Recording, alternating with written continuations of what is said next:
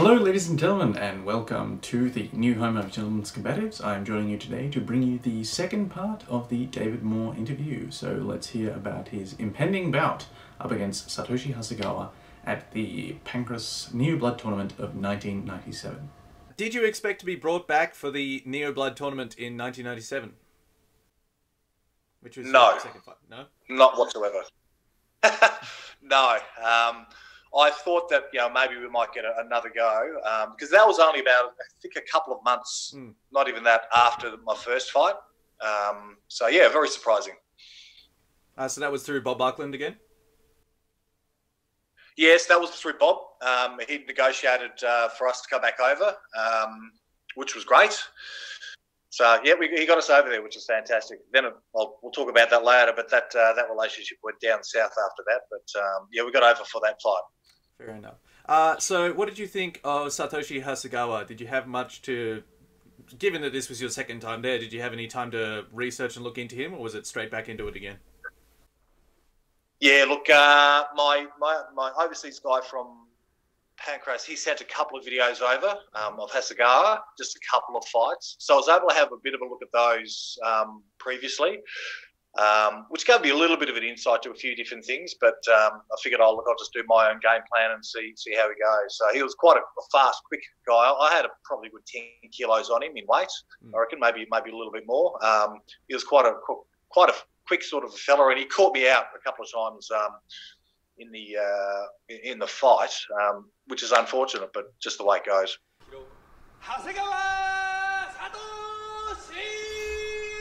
So thank you very much David Moore. As we heard, he'd actually got a little bit of video on his opponent and actually kind of knew what he was doing when he coming into this fight, which is, you know, the least you can normally expect of a mixed martial arts in the fight in these days, but yeah. Such were things in the time of 1996, and here he is taking on Satoshi Hasegawa in the first fight of the Pancrase 1997 Neo Blood Tournament. Hasegawa's had a bit of an interesting run. Hasn't done super well since he made his debut last year, but we'll see how he goes today.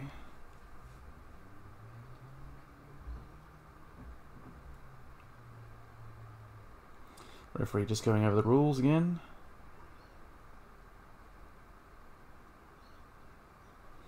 The boys have shaken hands and they are ready to go. Alright, here we go.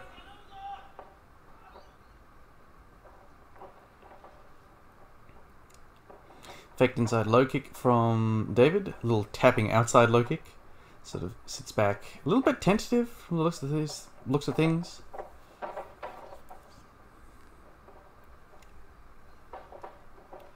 Struggling to get in. Uh, pretty rough shot from Satoshi Hasegawa, but he's managed to get double underhooks.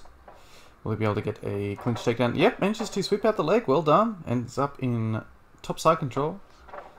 We'll see David's bottom game, which was pretty good from last time, if I remember correctly. Nice empty half here. Framing on the face and hips of Satoshi Hasegawa, who's trying to force down on his arm, probably trying to set up for a double wrist lock. David pulling free from that one. Leaving his arm over the top of the head. Oh, uh, nearly got the headlock sweep there. So yeah, arm over the top of the head. These days, bit of a faux pas in grappling because you're leaving yourself open for the Von Flue, but well, Von Flue slash OSP choke. But less of a big deal back then. Knee on belly briefly from Satoshi Hasegawa. David tries to pick up a single, gets cross-faced and stuck on the bottom still. Referee stands him up. It's been a while since I watched any Pancrase. Uh, I've been uh, busy doing some highlight videos and that sort of thing, so I was thinking that's a little bit faster than I remembered. You know, it's Pancrase. They were actually super quick on the stand-ups, comparatively, especially compared to modern day MMA. Double unders from Satoshi Hasegawa. A couple of attempted takedowns here. David doing an alright job of stalling them. Oh, nice duck out though to the back from Hasegawa. David reaching back for the legs here, separates the grips. Oh, nice dumping takedown from Satoshi Hasegawa, and that looks to have hurt uh, David. Like he's doing something weird with his arm there. And he's making an ugly looking face, and he's got a uh, top hammerlock on the other other arm. What was that? That was a like. I want to call it a pump handle takedown, but it didn't have the arm all the way through. But it was still a very nice uh, dumping single leg and just threw David down right on the point of his shoulder. And from the looks of things, has done something nasty to it. He's defending the uh, the armbar on the other arm quite well, but yeah, you can tell the one that is currently uh, framing on the hips of Satoshi Hasegawa is not in a good way. He's defending the uh, double wrist lock pretty well. Hasegawa spun all the way around to attack the armbar on the other side. Referee suggesting that perhaps David was going for the escape there. Oh, and he's managed to reef his elbow free and pop out, and he's come out on top. And uh, he's making some odd faces. Trying to do something with that arm, and he just can barely move it. Oh, ooh. Uh, so I already know what's wrong with it, and because uh, of course I was in the interview, and uh, just the way it was held there, that yeah, that that arm is not in a good way. So uh, he's being sent over to the ring doctor, moving it around.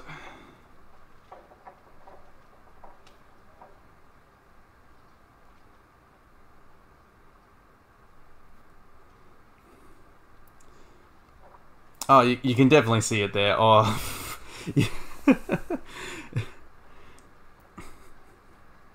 so I'll leave it for the man himself to uh, describe exactly what's wrong with his shoulder. But from this angle right here, you can see exactly what's wrong with it. If you know what you're looking for, just the way everything is all not attaching the way it's supposed to.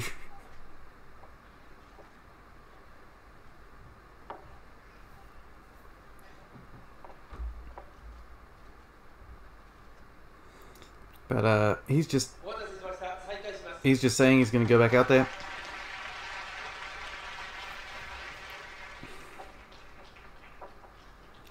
He's trying to move it around. All right, but props to him. Uh, braver man than I am, bigger balls than I have, going out there with a absolutely fucked arm. Just got ooh, gotten whacked twice really hard by uh, Satoshi Hasegawa because he's got no guard on that side now because he can't get his arm up high enough to uh, defend his head. Hasegawa throwing another one. Oh, he's turned away, getting smacked a lot, and he's got double overs. Can barely grip. Oh, man, just get to the takedown though. Yeah, inside rip. I think couldn't see the legs, but that was what I saw. Hasegawa stiff arming away. Trying to work on the uninjured arm, which is you know pleasant.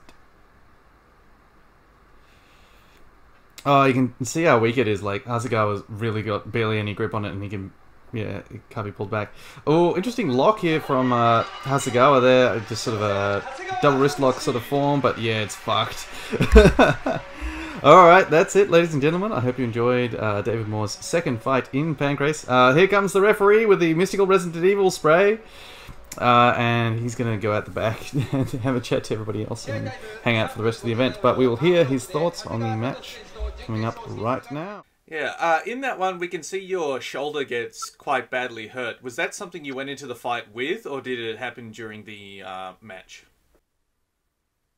Yeah, so that uh, that actually happened during the match. I've never had any shoulder injuries at all whatsoever. So he spun in behind me um, and, got down and was, was tucked in behind. And I was pretty slow. Look, I actually had a bit of food poisoning from from the day earlier, so I was a little bit flat. My energy levels were down, and I wasn't very responsive. So I was sort of sitting there. I was having a bit of a play, and I was ducking my hand underneath to see if there was a leg. I was looking at rolling under and going for a leg bar. So anyhow, he's picked me up and he's dumped me and uh, landed on my elbow. And instantly, I knew there was an issue. I thought, geez, maybe I've jarred my shoulder. Um, and I was carrying on a bit actually. I thought, geez, this is really starting to hurt because I could move it forward and back, but to try to raise laterally, my, my shoulder was pretty much um, giving me grief.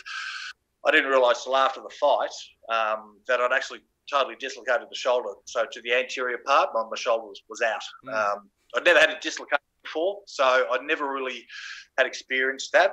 I was in a fair bit of pain, but I figured, shit, I've flown 10,000 Ks. I'm not going to stop because I've got a bit of a sore shoulder.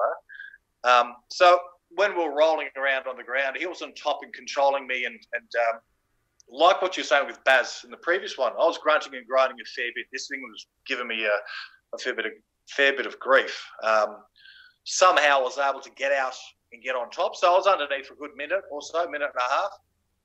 Uh, he's trying to finish me off, do whatever it might be. I'm carrying on like a bit of a bit of a kid. Happen to roll over, get on top, and I'm still groaning and grunting. And that's when the referee stopped the fight.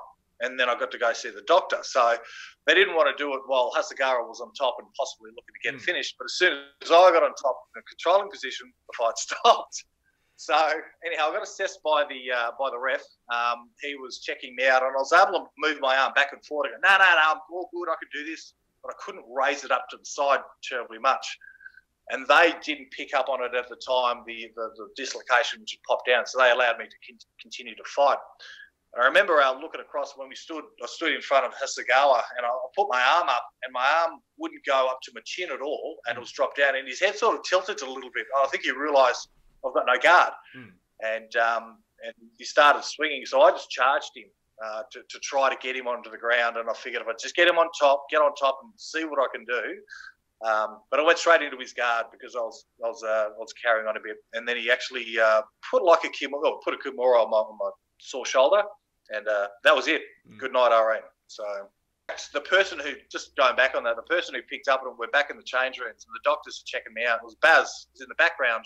He was supposed to have fought um, a fighter. I don't. It was an exhibition fight, and that got cancelled. He was in the back having a few beers, and he turned around and said, "Hey, Dave, look at me." And he turned around. and He goes, "You've got a dislocated shoulder." He said, "Have a look." And I looked in the mirror, and it was a good couple of inches had dropped. And then all the doctors went, "Oh shit, okay, fair enough." And that's when they decided they realised it was dislocated. I had to go to hospital and get it put back in. So yeah, it's funny because the only person who picked up on it was the pit, uh, the pissed Dutch bloke. So Mm. that's right. Fair enough. Uh, it seems that Fruin spent his time in Japan either tanked or fighting people. Uh, there was no in between. Sometimes both. Pretty much, yeah. Uh, so again, did you spend any time at the Pancrase Dojo after that, or once again straight back home, straight back into it? Yeah, with that one because I had that injury, it was actually uh, an afternoon um, tournament and then the evening, so there was there was a, a break. Um, it was funny because I had this dislocated shoulder. They wouldn't take me to the hospital because just in case there were other injuries, and then they wanted to I don't know save on taxis or whatever it is. So Put I didn't get to the everyone all on hospital for three hours. Yeah. Yeah, pretty much. So I was there for three hours. I go, what am I going to do? And Bas is having a beer, and uh, Lisa's having a beer. I went, ah, stuff it. I'll have a couple of beers as well. So that was great until I got to the hospital, and everything had seized up, and everything had tightened up, and uh, then it took them a good hour or so to relocate it, Mm. and I was. Yeah, that was uh, pretty painful. So I didn't feel like heading on out afterwards. After that, I was in a, in a fair bit of um, fair bit of pain. So yeah, Uh, fair enough. So between that and your final appearance in Pancrase, there was a two-year gap. Uh, did they just not Yep. call you back, or what led to that? So this is where the relationship with Bob, my original manager, broke down. Um, so he was telling me uh, that there was no interest um, in me with the fighting. Um, he's trying to do his best. Um, he's he, he, wants to get get back. Um, and then I, I, actually called up uh, Otate, Otate. Um, I sent him a, actually a birthday card and I said, uh, Happy birthday, mate. And he goes, Oh, great to hear from you. How are you all going? And we got this conversation going. And he basically filled me in that Bob mm. had uh, wanted to double my appearance um, to go back over there. So we're getting about, oh, 1800 bucks American to go over. He wanted me to get three and a half thousand dollars American, but he he was going to keep the balance and pay me that original, you know, that out of it. And um, and then yeah, so Atade's telling me that, and I'm like, well, I've got no idea, mate. He said we've been trying to get you back over for a year. I said, I've been told that you guys weren't interested at all. He goes, no, no, no, no. It's the, the, the, audience, you know, love the fight that you love the fact that you fought with a busted arm, a busted shoulder. You know, you, you, you performed really well against uh. So I spoke to Bob, and Bob denied it. And anyhow, I was able to get out of the contract, and that took probably a good four or five months worth of back and forth to get out of the contract. And then I went over there representing myself, if you want to call it that, for that that third fight. So that's why there was that long two year period. And in that time, I figured, oh, well, that's done and dusted. You know, I'll just keep on doing my, my grappling or whatever it is. So I wasn't really training for Pancrase or anything else like that. So, yeah. Uh, so so you were just competing in jiu-jitsu and that sort of thing in that middle that middle period. No mixed martial arts, no yeah, shoot fighting or No. or. Oh, I just dabbled. Just dabbled in it a little bit, uh, a little bit, a little bit of sparring, but it wasn't training specifically to get into the mixed martial arts. Um, so yeah, I thought, well, you know what, um, had a good time, um, but it looks like that window may have closed, mm. unbeknownst to me, being you know uh, naive. You know, I've got a promoter who was, as I said, pretty dodgy, mm. was trying to his pockets full of cash. So he'd also um, taken Stan Longinidis and Sam Greco oh. over to America, uh, to Japan and uh, he was associated with them, and they got out of that situation quickly. I had a chat to Sam a couple of years later. Uh, we, we got through a mutual friend who were talking, and he goes, "Yeah, no, Bob's Bob's dodgy as." So found that out. So yeah. So thank you very much for your thoughts there, David Moore. And as we've heard, it will be a little while before he shows up in Pancrase again. But worry not, I will do his match uh, well ahead of the when we get to that event in terms of our current Pancrase chronology. Uh, otherwise, I hope you enjoyed his match. I hope you enjoyed his uh, thoughts on his time in Pancrase, and I hope you all tune in next time.